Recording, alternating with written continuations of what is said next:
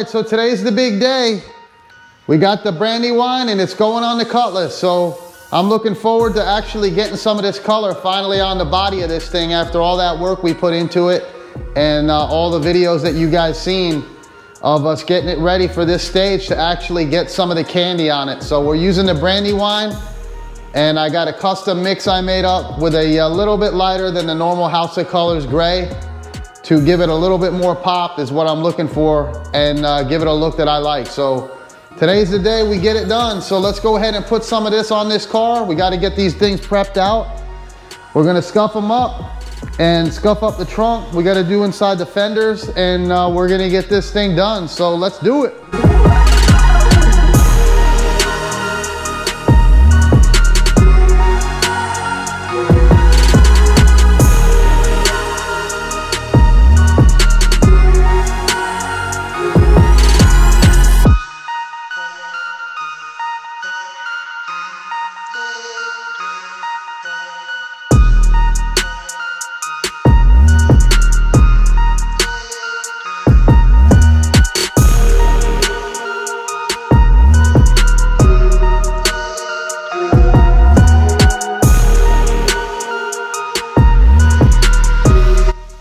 So we got the jamb sanded out on it and uh, we went ahead and started taping them up because I'm gonna rebag this again and tape right along the edge. When you guys tape this, tape right along the edge. Don't come out too far because then you gotta sand that line off.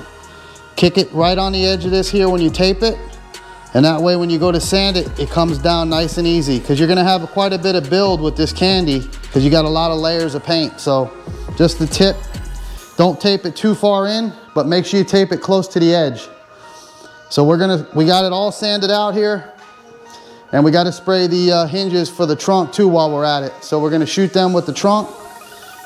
This jamb here is all sanded out and we're gonna start taping it up. But I made a decision to leave the fenders on the car because you guys know how it is when you gotta take these fenders off and then you put them back on with these bolts. And these are very visible to this car when you open the door and I don't want to have them all marred up with a candy paint job and had to touch everything up. So I can get to everything on this car with it with the fenders on it because most of this car is actually black underneath. The whole firewall is black, under the hood's black, and I just have to spray the tops of these fenders here. So we're gonna go ahead and prep these out and shoot them on the car. And that way all my bolts are gonna stay good and uh, we'll have a better, cleaner job and I won't have to adjust everything back for this car to fit because those doors line right up the way these fenders are. And I was gonna pull them, but I thought about it and I said, you know what? Let's pull the hood, pull the hinges off, and then we'll be able to get access to these fenders better and get them uh, shot too. So just a executive decision I made and I think it's a better decision than taking them off because I can get to everything I need to doing that. So we're gonna finish this up and we'll be shooting candy on it. All right, so we have the hood off and I wanted to show you guys what I was talking about. See how this is all black? The back firewall, I wanna leave that all factory looking so when you open up the hood, it looks original because I have all the original stuff under here. So we're gonna go ahead and tape this off and uh, it's a lot easier than taking these off and having to realign all this stuff back up. Now all we gotta do is align the uh, hood hinges back up and we'll be good to go. So we got the hood off, the hood hinges off, and now we're gonna go ahead and prep these out and then uh, we'll be ready because the rest of it's already prepped out, taped up, and waiting for the bag. So let's do that.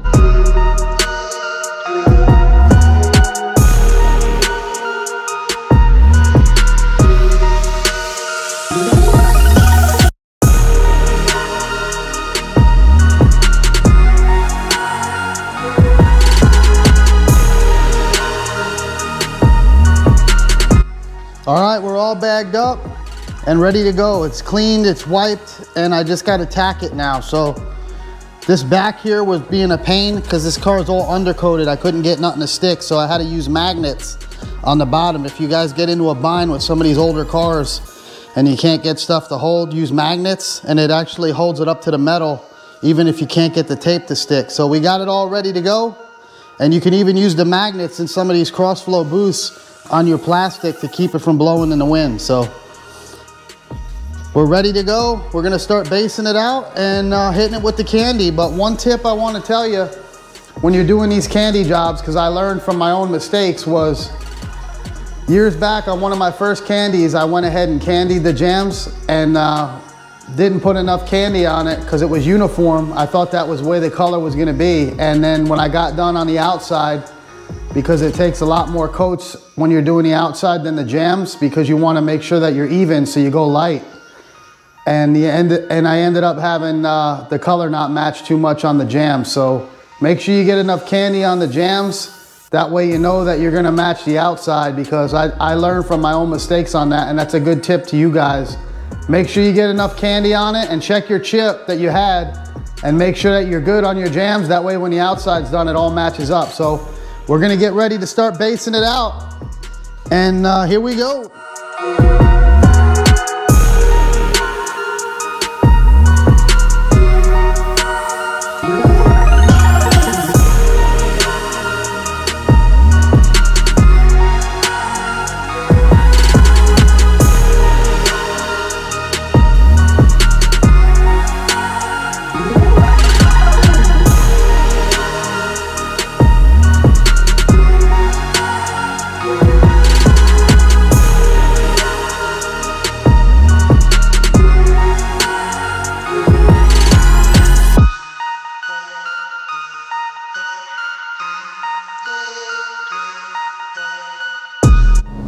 Got one coat on. I went with a nice light coat. That way it uh, doesn't have any crazy reactions. Always go light on your first coat of base when you're doing jambs because uh, with all that, you know, grease and all that stuff in the jambs, you got more chance of uh, having a little bit of problems with reactions. But we primed it and everything else, so we're good. Uh, but you still want to watch because some of them vapors can come out of them jambs and uh, under the hood, stuff like that. So go easy on the out on the inside. We'll let this set up. We'll put a couple more coats on and then we'll be candying it. So I'm thinking we're gonna go with about five coats, six coats of candy on the outside. So we'll have to base that off of when we're doing the jambs now. So it's coming along. I can't wait to see it.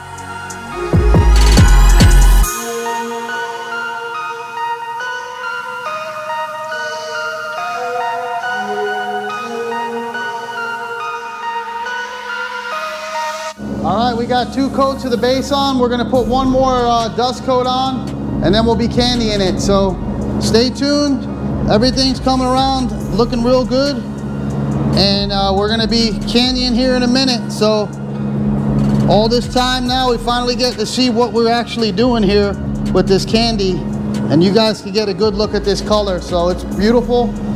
And I think you guys will really like it. So We'll give this one more dust coat and then we'll be candying the uh, jambs up on it.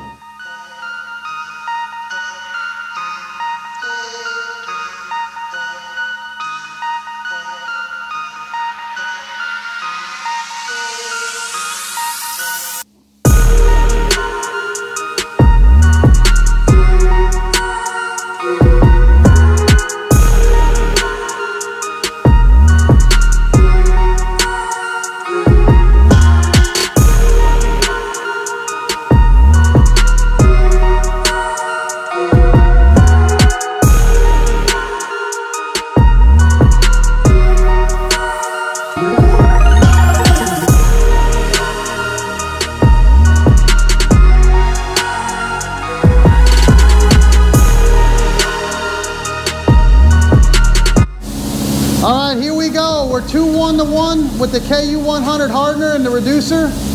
And this is the UK01 going over my custom silver. So we're using the DV1 with the 1.4 in it with the C1 so we get a flat coat because I want to break this candy up like I know it needs to be done. So here we go. Let's do it.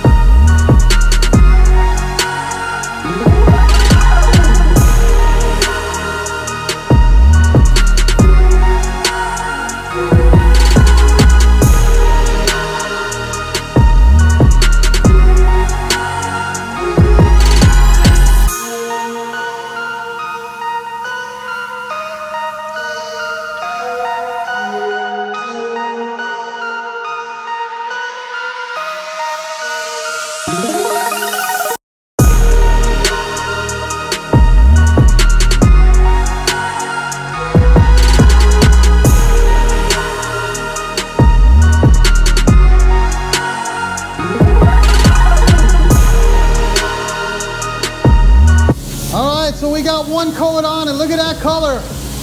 I'll tell you, I ain't done a candy in a while, but that smell of that candy house of kolors, you'll never forget it once you spray it one time. As soon as I picked up the mass, it brought back 20 years ago, so I'm happy and check it out. One coat, don't go crazy on the coats with the candy. Put it on nice and even and uh, don't go rushing it on. Take it slow, put it on, get around all your edges and areas because Every move you make changes it, so you got to go from all angles, especially around hinges and different hinges inside the door jamb. So take it easy, don't go rushing it on. Take your time, and uh, we're to be looking at wine here in a minute.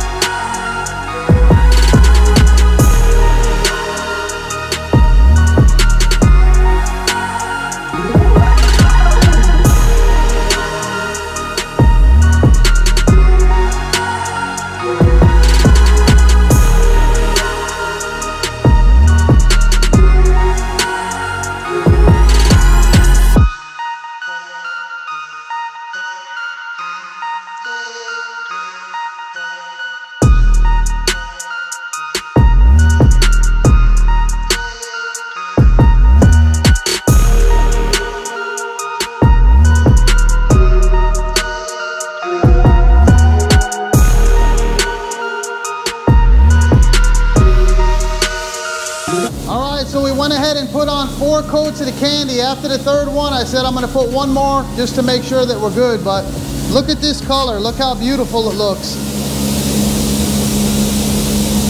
This thing looks really, really brilliant, but also very deep and dark. So unbelievable color. I'm glad I chose this one. So we're all done with the candy part and now we're gonna get ready to clear it. So let's put two coats of clear on it and I'll show it to you guys all said and done. And I wanted to let you know that DV1 works unbelievable for the candy. Any of you guys spraying the candies out there, that thing lays it out, breaks it up, puts it on nice and even. And what a difference from back in the old days with the older guns spraying this candy. So we're gonna be clearing this one with the DV1, with the CC200, and uh, we're gonna put the two coats of it on, so let's do it.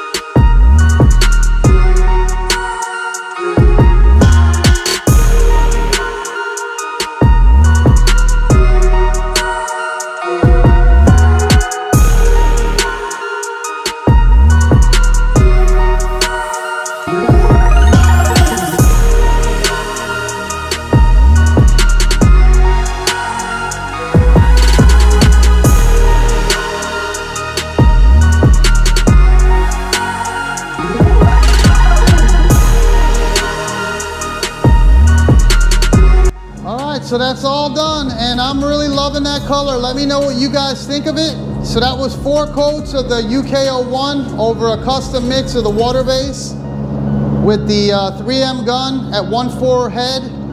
And then we went right into the DV1 with the 1.4 for the candy and the clear coat. So we used CC200 on it with the US4 and the 90 reducer. You know my favorite combination. So look at this color. It's dark, but it pops like you wouldn't believe. I don't know how it looks in the video, but beautiful color, very rich looking.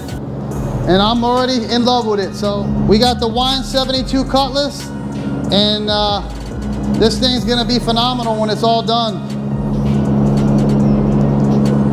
Look how that color pops when you hit it with the light. And then look how dark it gets.